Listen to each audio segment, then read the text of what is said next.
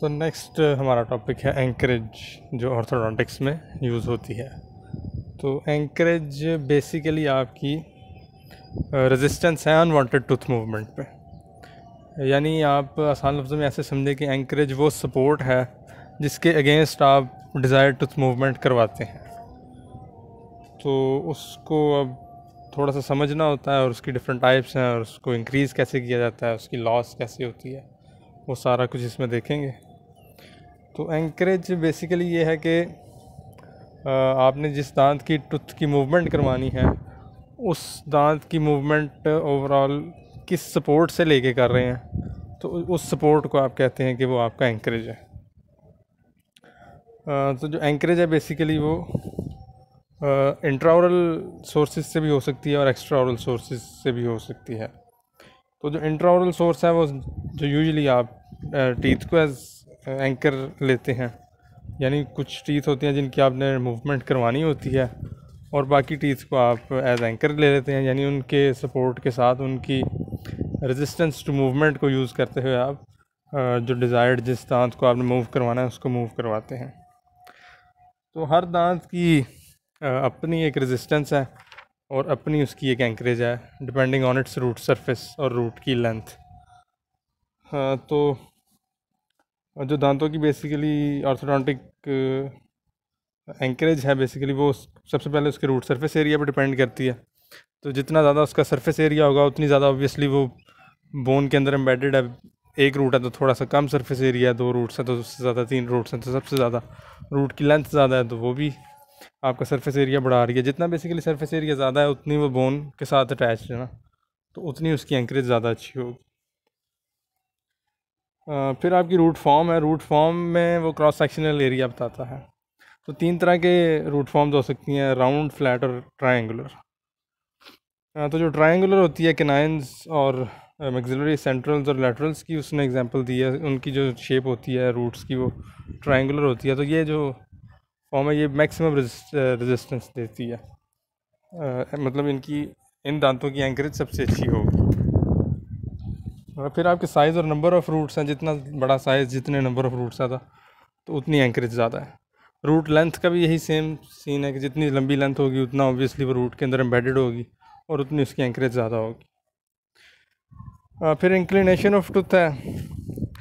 उसमें ये बताता है कि अगर आप उसकी इंक्लिनेशन के अगेंस्ट मूवमेंट करवा रहे हैं, यानी अगर बकल बकली इंक्लाइन टूथ है और आप की ओवरऑल मूवमेंट लिंगवली है तो वो उसको ज़्यादा अच्छा एंकर यानी उसको रजिस्ट करेगा जो मूवमेंट है। अगर आपका ये वाला दांत एंकर यूनिट के अंदर है तो। और फिर एंकालोज टीथ है। एंकालोज टीथ बेसिकली पीडीएल उसका कोई नहीं होता, जो डायरेक्टली वो बोन के साथ अटैच होता है, जिसकी वजह से उसमें बेसिकली मूवमेंट हो ही नहीं सकती। तो ये सबसे अच्छी एंकर एंकरेज वाला दांत ये होता है। यानी इसने खुद तो मूव होना नहीं तो इसकी सपोर्ट से आप जितना मर्ज़ी जो जितने मर्ज़ी दांतों को मूव करवा सकते हैं। फिर वो यूजुअली आइडियल रेशो बता देता है कि एंकर यूनिट और जो आपका मूविंग यूनिट है, उसकी ideal ratio four ratio one होनी चाहिए। कि एंकर यूनिट का जो सरफेस एरिया है वो फोर टाइम्स होना चाहिए एट लीस्ट मूविंग यूनिट के दांतों के सरफेस एरिया से अगर उसका रिलेशन लें तो। लेकिन वो कहता है इतना इतनी यूजुअली हमें एंकरेज नहीं मिलती मुँह के अंदर तो इससे कम भी हो तो गुजारा हो जाता है।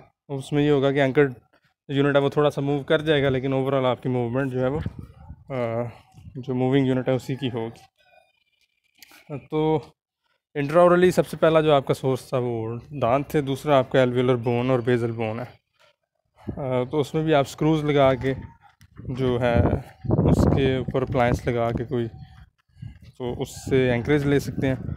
और लास्टली आपका मस्कुलेचर है। तो जो आपके मसल्स कंट्रैक्ट करते हैं, उनसे भी फोर्सेस ऑब्वियसली जनरेट होती हैं।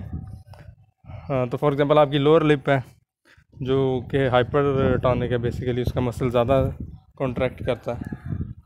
तो आप ये कर सकते हैं कि उस मतलब उसके कंट्रैक्शन से ये होता है कि जो लोअर एंटीरियर टीथ हैं, वो लिंगुअली इंक्लाइंड हो रहे हैं। तो आप वहाँ पे एक अप्लायंस लगाते हैं लिप पंपर नाम की। तो वो ये करती है कि उसमें एक मतलब स्पेस आ जाती है आपके दांतों और जो लिप्स हैं उसके दरमियान में। तो वो जो मसल की फोर्सेस हैं वो पीछे वायर के थ्रू मोलर्स पे चली जाती हैं और मोलर्स उसकी वजह से डिस्टलाइज हो जाते हैं। तो ये एक और एंकरेज की एग्जांपल है। फिर आपके एक्स्ट्रा ओरल आ जाते हैं। एक्स्ट्रा ओरली बेसिकली आप जो बोन्स हैं आपकी हेड एंड नेक की उससे एंकरेज ले लेते हैं। तो पहली क्रेनियम है। यानी हेड से आप एंकरेज लेंगे, इसमें हेड गेट्स वगैरह की एग्जांपल आ जाती है। फिर आपकी बैक ऑफ़ द नेक यानी सर्वाइकल एंकरेज है, और सामने से आप फेशियल बोन से एंकरेज लें, जैसे चिन कप में लेते हैं तो वो आपकी फेशियल बोन्स की एंकरेज हो जाएगी। ऑब्वियसली ये जो एंकरेज है, ये दांतों की और इंट्राओरल एंकरेज से ज़्यादा होती है। और फिर आपकी हैं टाइप्स ऑफ़ एंकरेज यानी क्लासिफिकेशन क्या है एंकरेज तो उसमें जो सिंपल है, वो पहले देख लेते हैं। तो पहले है कि अकॉर्डिंग टू जॉज इन्वॉल्व यानी आपकी इसमें दो तरह की एंकरेज हो सकती है इंट्रम एक्सिलरी और इंटरम एक्सिलरी तो जो इंट्रम एक्सिलरी एंकरेज है उसका मतलब ये है कि जो मूविंग यूनिट और एंकर यूनिट है, वो सेम आर्च में है, यानी मैगजिला के ही दांतों को मूव कर रहे हैं मैगजिलरी दांतों को। और मैगजिलरा के मैगजिलरी दांत ही जो हैं, वो ही आपके एंकरेज यूनिट के अंदर हैं। और सेम गोस फॉर मैंडेबल तो दूसरा आपका इंटर मैगजिलरी है उसका मतलब है कि जिस आर्च में की आपकी मूवमेंट हो रही है एंकरेज उसमें से भी ले सकते हैं और अपोजिट आर्च से भी ले सकते हैं। उसको बेसिकली आप बेकर्स एंकरेज कहते हैं। इसकी एग्जांपल आपकी इलास्टिक्स में आ जाती है, जो उसने फिगर में दिखाया हुआ है। क्लास टू और क्लास थ्री के वो इलास्टिक्स हैं। तो इसको सिंपल ऐसे याद रखें कि क्लास टू के अंदर क्लास टू इलास्टिक्स यूज़ होते हैं, और उसमें आपने बेसिकली ओवर जेट को ठीक करने के लिए मैगजिलरी एंटीरियर टीथ को पीछे लेके आना होता है और मोलर क्लास को ठीक करने के लिए मैंडिबुलर मोलर्स को आगे लेके आना होता है। तो मोलर से लेके लोअर मोलर से लेके अपर इंटीरियर पे आपका इलास्टिक जाता है ये अचीव करने के लिए। इसी तरह क्लास थ्री के अंदर इससे ऑपोजिट है कि लोअर एंटीरियर्स को मीजिल डिस्टलाइज करवाना यानी पीछे लेके आना ओवरजेट ठीक करने के लिए और क्लास मोलर क्लास ठीक करने के लिए आपने अपर मोलर को मीजियलाइज करवाना तो अपर मोलर से लोअर इंटीरियर्स पे ये इलास्टिक्स लगते हैं। फिर आपकी जो एंकरेज की टाइप आ जाती है वो है साइट ऑफ़ एंकरेज उसमें इंट्रा और एक्स्ट्रा और मस्कुलर है तो वो हमने पीछे ही देख लिए हैं। फिर नंबर ऑफ़ एंकरेज यूनिट है, उसमें पहला सिंपल सिंगल या प्राइमरी है। उसमें यह है कि एक दांत की मूवमेंट के अगेंस्ट आपने एक दांत रखा हुआ है एंकर यूनिट के अंदर, जिसका overall root surface area moving unit वाले दांत से ज़्यादा है। तो इसको आप कहेंगे सिंगल एंकरेज है। अगर मल्टीपल दांतों से एंकरेज लेके मूवमेंट करवा रहे हैं तो वो कंपाउंड एंकरेज होगी। और अगर इसी को री कर दिया किसी और तरीके से यानी मस्कुलर है एक्स्ट्रा और है टैड लगा दिया है, या बोन से ले रहे हैं एंकरेज तो वो आपकी री एंकरेज हो जाएगी। और लास्ट है आपकी मैनर ऑफ़ एप्लीकेशन के हिसाब से। तो उसमें सबसे पहले है सिंपल एंकरेज तो सिंपल एंकरेज का मतलब ये है कि जो एंकर यूनिट है, आपकी ब्रुथ मूवमेंट ओवरऑल इस तरह की है कि एंकर यूनिट पर जो फोर्स लग रही है, वो उनको टिप टिपिंग करवाएगी उनकी, यानी उनको टिल्ट करवाने की कोशिश करेगी। उसकी एग्जांपल उसने यहाँ पे दी हुई है कि जो आपका प्री मोलर है, वो पैलेटली पड़ा हुआ है। तो आपने अप्लायंस लगाई है रिमूवेबल जिसके ऊपर एक स्क्रू लगा हुआ है जो उसको पुश करेगा बकल साइड पे। अब इसकी एंकरेज जो साथ वाले दांतों से ली हुई है उसने उसमें ये होगा कि उन दो दांतों को वो जो ओवरऑल अप्लायंस है वो पैलेटली पुश करेगी। अब वो इस तरह की फोर्स होगी उन पर कि वो दोनों पैलेटली टिल्ट होने टिल्ट होंगे अगर वो फोर्स आपकी आ, मतलब एंकर यूनिट मूव करेगा तो टिल्ट होगा बॉडीली नहीं मूव करेगा। तो इसको आप कहते हैं कि ये सिंपल एंकरेज है।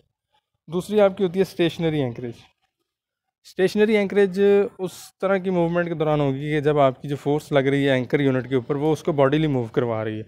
तो वो बॉडीली मूवमेंट को रेजिस्ट करने वाला जो एंकर यूनिट है वो बेसिकली स्टेशनरी एंकरेज का उसके अंदर स्टेशनरी एंकरेज है और टिपिंग की मूवमेंट को रेजिस्ट करने वाला जो यूनिट है उसकी जो एंकरेज होगी वो सिंपल एंकरेज होगी। और जो तीसरा है आपकी रेसिप्रोकल एंकरेज वो है सिंपल के आपने दो यूनिट्स को एक दूसरे के अगेंस्ट इस, इस तरह डालना है। कि उनकी इक्वल एंड ऑपोजिट मूवमेंट हो रही है।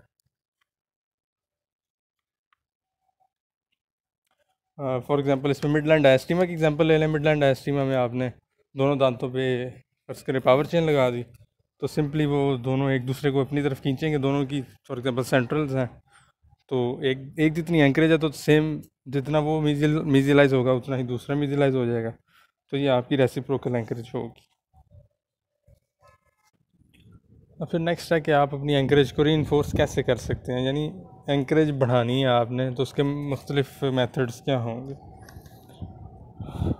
तो उसमें ऑब्वियस सी सी एग्ज़ाम जो एग्जांपल कह लें या टिप्स कह लें, कि सबसे पहले वो बताता है कि आपने जो रूट सरफेस एरिया है जो आपका एंकर यूनिट का होगा, उसको मैक्सिमाइज़ कर लें। उसमें ज़्यादा दांत ऐड कर लें, उसमें वो दांत ऐड कर लें जिनकी रूट मतलब मल्टीपल होती हैं। तो वो आपकी एंकरेज को इंक्रीज़ करेंगे।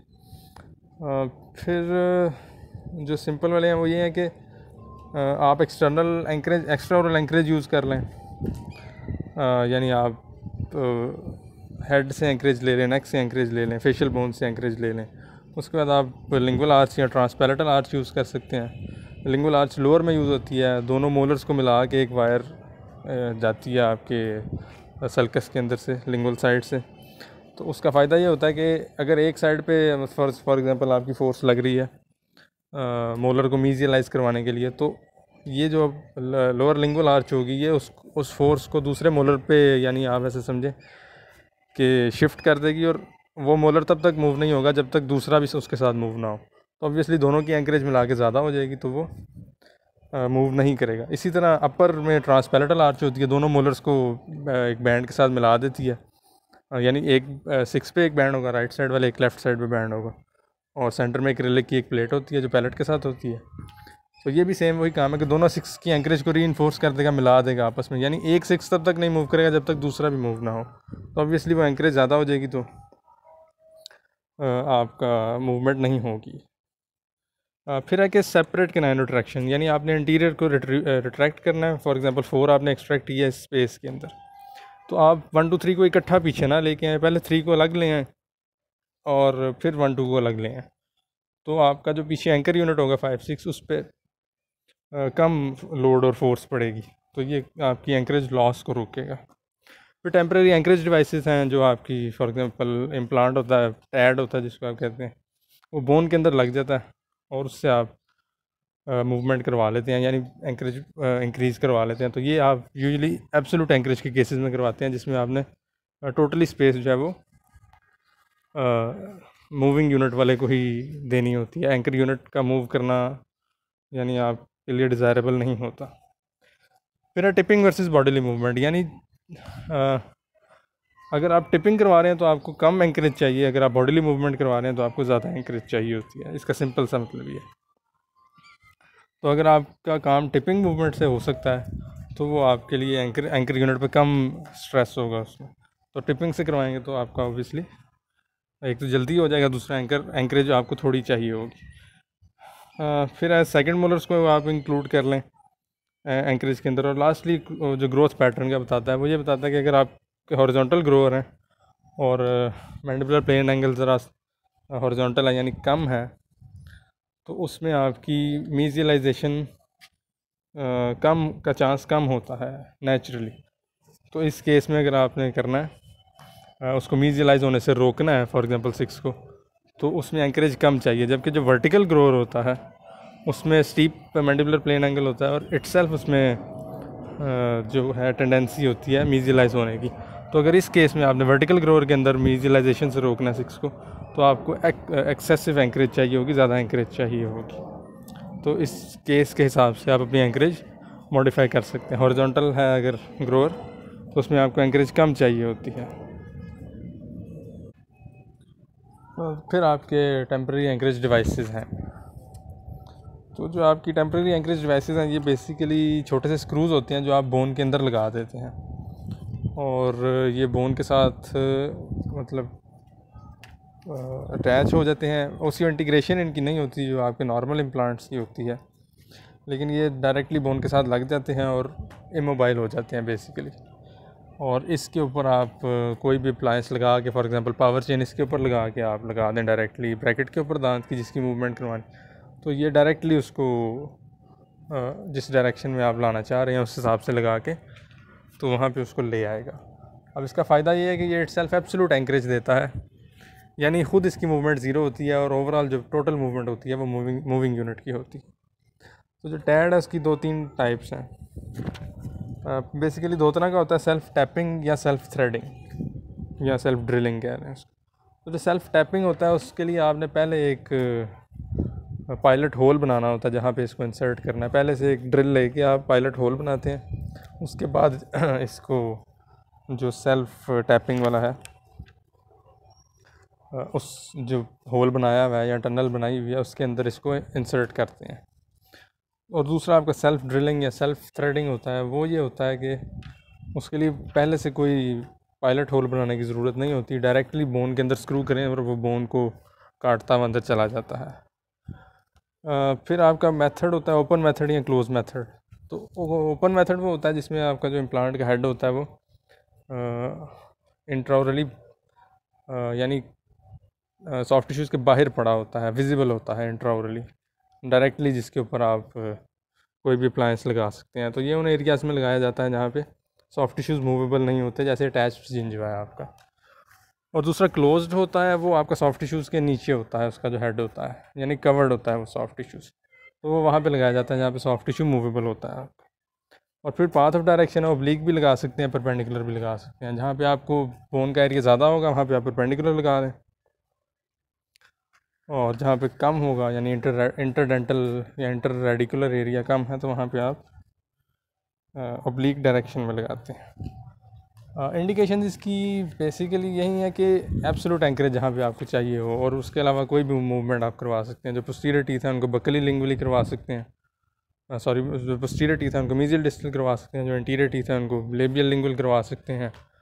कोई इंट्रूडेड है तो एक्सट्रूड करवा सकते हैं, एक्सट्रूडेड है तो इंट्रूड करवा सकते हैं। इससे हर तरह की मूवमेंट्स ली जा सकती हैं। फिर कुछ सिंपल सी बातें इसके साइज़ के वाले से हैं, वो इतनी इम्पोर्टेंट नहीं है। और फिर उसका है तरीका क्या होता है, जो आपका सेल्फ मतलब जिसमें आपने पहले से पायलट होल ड्रिल करना है, उसका क्या तरीका होगा? तो उसमें आपने ये करना है कि वो आपको सबसे पहले बताता है कि बहुत ज़्यादा आपने लोकल अनस्थीज़िया नहीं देना होता। यानी आप सिर्फ़ टॉपिकल अनस्थीज़िया दे दें उस वहाँ पे और उसके बाद आप उसको इंसर्ट कर दें। वो कहता है, अगर ज़्यादा एनेस्थीज़िया दे देते हैं तो उसका नुकसान होता है, फ़ायदा नहीं होता। एक तो नीचे जो बोन पड़ी होती है, उसकी इनर्वेशन कोई नहीं होती तो पेशेंट को पेन नहीं होनी अगर ऊपर से सॉफ्ट टिश्यूज़ आपने एनेस्थेटाइज टॉपिकली कर दिए तो। और दूसरी बात यह कि जब आप इंसर्ट कर रहे हैं और फॉर एग्ज़ाम्पल वो दांत के करीब चला गया पी स्पेस में जा रहा है या रूट को टच कर रहा है तो अगर आपने लोकल दिया है तो पेशेंट को पेन ही नहीं होगी और आपको नहीं पता चलेगा कि ये गलत डायरेक्शन में जा रहा है। तो आप इसलिए प्रोफाउंड एनेस्थीज़िया नहीं देते इस केस के अंदर लगाने से पहले। फिर आप एक ड्रिल लेते हैं six hundred R P M की स्पीड पे उसको जितनी लेंथ तक आपने लेके जाना होता है, जो उसने बताई है कि usually four to six millimetre होती है। जो बोन के अंदर इम्प्लांट का पार्ट एम्बेडेड होना चाहिए तो फोर टू सिक्स मिलीमीटर का पायलट होल बना लेते हैं आप। और उसके अंदर आप, या तो हैंड से उसको, जो उसका हैंड ड्रिवन होता है, उससे आप स्क्रू कर लें। उसको, या फिर उसके लिए भी आपको हैंड पीस मिल जाता है, जिसकी रोटेशन 12 आरपीएम होती है। तो दोनों से दोनों तरीक़ों से आप उस होल के अंदर अपना जो इम्प्लांट है, उसको स्क्रू कर सकते हैं। दूसरा जो सेल्फ़ थ्रेडिंग वाला है, वो सिंपल है कि उसको आपने उसके हैंड पीस में लगा के सिर्फ़ रोटेट करते जाना और वो बोन को काट के अंदर चला जाएगा। रिमूवल भी सिंपल है, जिस तरह लगाया, इसी तरह उसको अनस्क्रू करके आपने निकाल लेना, कोई उसमें रॉकेट साइंस नहीं है। फिर उसमें कॉम्प्लिकेशन हैं कॉन्टैक्ट विद एडजेसेंट रूट्स है, यानी आपकी एंगुलेशन ठीक नहीं थी तो वो डायरेक्ट डायरेक्टली रूट्स पे जाके टच कर रहा है। उसमें यह है कि आपने प्री ऑप एक्सरे करवा लेना होता है इंटर रेडिकुलर जो बोन का एरिया है वो देख लेना कितना है और उस हिसाब से उसको एंगुलेट करके डालना है। और फिर है कि रेयरली वो ब्रेक हो जाता है। तो ये भी आपका एक कॉम्प्लिकेशन है। अगर तो वो बहुत डीप नहीं है तो कोशिश की जाती है कि उसको निकाल लिया जाए, लेकिन अगर बहुत डीप है तो उसको अंदर भी छोड़ा जा सकता है। फिर आपके एनाटॉमिक स्ट्रक्चर्स को डैमेज हो सकता है लोअर में लगा रहे हैं तो नर्व्स हैं इन्फीरियर एलव्यूलर नर्व है, उसको डैमेज हो सकता है अपर में लगा रहे हैं तो साइनस में जा सकता है। फिर उसके ऊपर सॉफ्ट टिश्यू की ओवर ग्रोथ हो सकती है, उसकी वजह से आपका जिंजवाइटस वगैरह हो सकता है। और जो मोस्ट कॉमन चीज़ है, वो है कि इम्प्लांट लूज़ हो जाता है।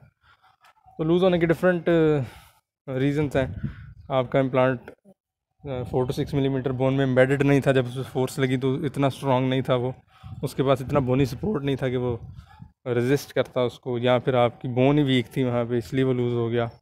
तो वो दो तरीके बताता है इसको ठीक करने के लिए। पहला तो ये है कि आप उसी को थोड़ा सा दोबारा स्क्रू कर दें तो वो दोबारा टाइट हो जाएगा। अदरवाइज़ अगर वो इसके बाद भी लूज़ हो जाता तो आपने इसको निकाल के दोबारा नई एंगुलेशन पे लगा देना।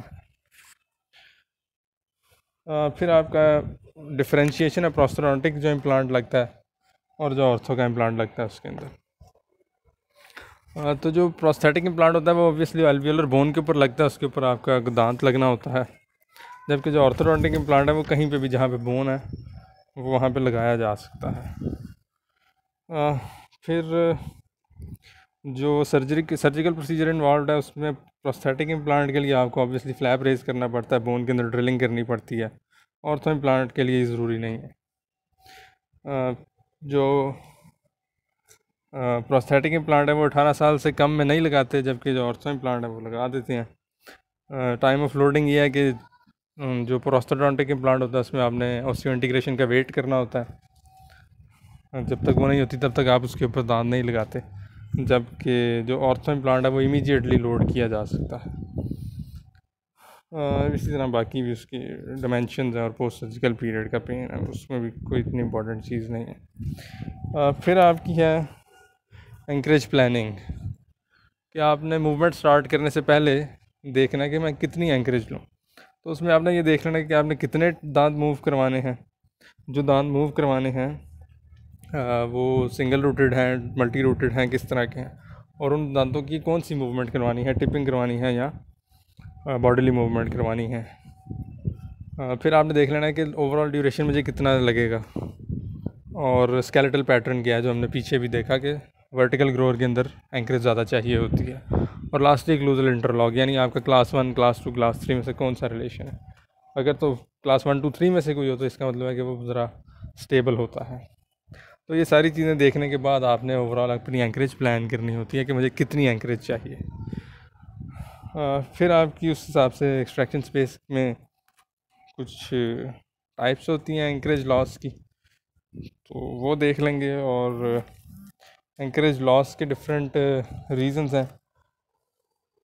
अप्लायंस आपकी ठीक नहीं है पेशेंट उसको सही तरह से पहनता नहीं है अगर फिक्स्ड नहीं है तो। और पुअर पेशेंट वियर यानी वो, बेसिकली पेशेंट पहनता नहीं है ठीक तो वो उसकी वजह से होगा। तो ये आपकी रफ सी एंकरेज की थी सारी डिटेल्स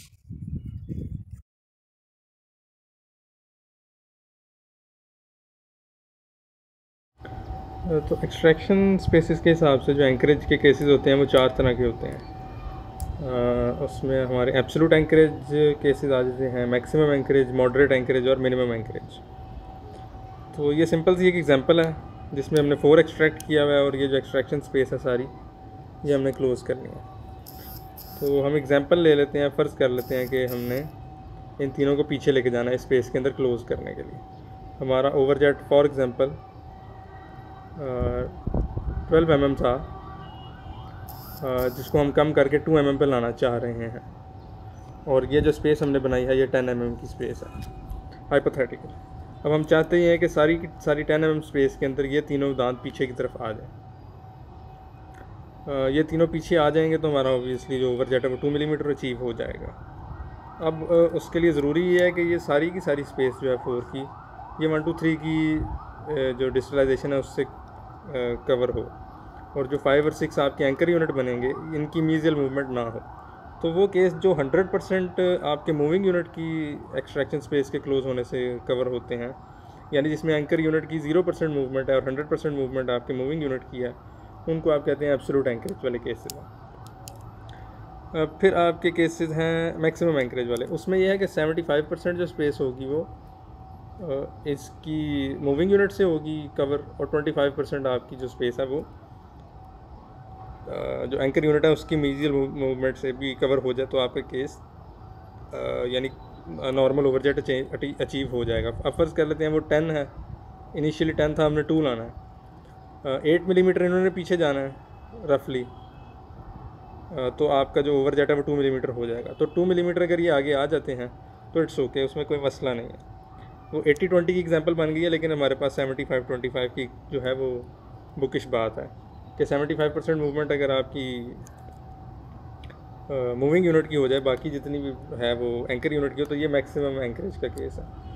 फिर इसी तरह मॉडरेट एंकरेज है फिफ्टी फिफ्टी हो जाता है उसके अंदर कि अगर फिफ्टी परसेंट आपकी एंकर से एंकर की मूवमेंट हो जाए और फिफ्टी परसेंट मूविंग टूथ की यूनिट की, और डिज़ायरेबल रिज़ल्ट अचीव हो जाए तो आपका ये हो गया मॉडरेट एंकरेज और लास्टली आपका मिनिमम एंकरेज है। मिनिमम एंकरेज में ये है कि ये सेवेंटी फाइव हो जाएगा और ये ट्वेंटी फाइव हो जाएगा। सिंपल तो ये आपके जो हैं एक्सट्रैक्शन स्पेस क्लोज करने के चार तरह के केसेस होते हैं।